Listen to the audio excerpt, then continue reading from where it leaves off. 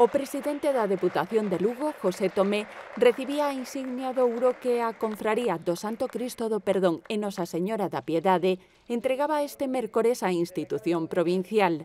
O mandatario provincial acudiu acompañado da deputada de Réxime Interior Pilar García Porto, canda alcaldesa de Lugo, a subdelegada de Goberno e outras autoridades.